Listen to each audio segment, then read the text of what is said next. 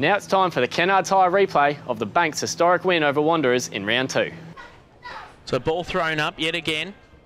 No bouncing today on the cricket pitch, just, uh, despite the hard surface. As Beechin now in the ruck, Doughty runs onto this one, loses a handle on things, gets the handball out though.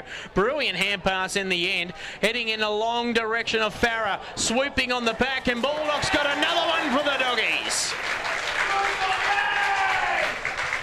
Well, umpires uh, conferring at the moment. Waiting for the conference, so it's all clear for a sausage roll. And, uh, well, I'll tell you what, the spread of the ball uh, in the forward line is really doing them some good service. Yeah, super effort there. It was the first time that uh, I guess the Wanderers defenders were able to bring the, bring the ball to ground, but the uh, the Banks players swooped on the loose footy and, and capitalised once again. Playing some really good footy, they, they'll be hard to stop from here. The 1% effort there by Doughty as he's falling away, but got the handball out was inspirational stuff as Doughty again swoops on the ball. Oh, geez, great turn of speed there. Oh, great tackle as well there by Nook Mansell. Probably a little bit too much in it and a bit of feeling being shown again as Rhodes is going in hard. Going in again there was Motlop using his body well. Off to Thomas, misses judges the bounce, gets up with the ball. Quick kick away, snap it and uh, just falls into the hands of 12 free. So 12 free. Goes on to the outer side looking for teammate in Glassborough. Uses his body well, marks in front of Roberts.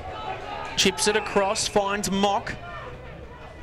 Again, another good kick. And this is another good build up here for the Bulldogs. Just edging his player underneath it was the forward there and uh, was picked out in the end. So Motlop will take the free kick. This is Brenton on to the outer side. Finds Erlinson. Erlinson looking in the Roberts direction. Been out of play. And uh, great defensive work there by the Bulldogs. So they just want it more, don't they? They're on show here. They're, they're showing AFL NT uh, Chiefs that, hey, they want to play in Premier Division. That's the way they're playing at the moment. And over the next couple of weeks, it's all about pretty much putting on a show and saying that you can match it in this competition. So Redden, brilliant handball across. Oh, another easy link-up play.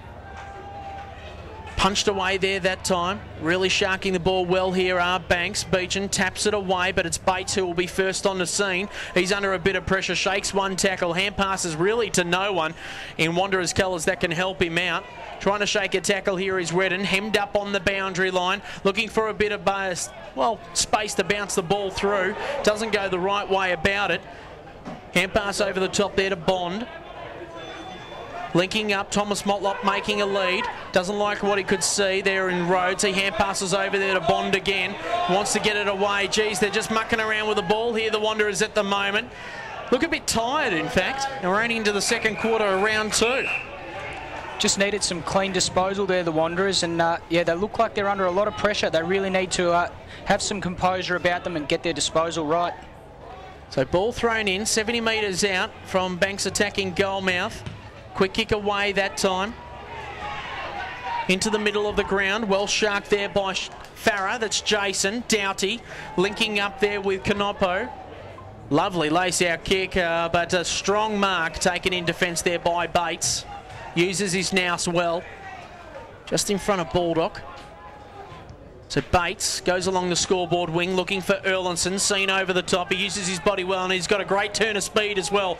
Good hip and shoulder there by Wilson. Plays on quickly. Into Motlop. He misjudges the ball. Beechin goes in hard. Brilliant tackle there by Motlop. Geez, they're quick on the holding of the ball decision. It's like watching footy in the 1980s with the umpiring at the moment. We love those decisions. It's great. Bit indecisive here, Thomas Motlop. Helicopter kick with the wind. Finds Aaron. That's Aaron Motlop. Got a play streaming forward. Bit of space. Chips it across to Relton. So Relton Roberts, the former Tiger. That's a Richmond Tiger and uh, finds a lead up mark in Jerry Wilson. So Wilson with the ball deep underneath the banyan tree in front of his supporters and uh, of course the coach hoping that they can uh, put another score on the board. Uh, have been goalless so far this quarter.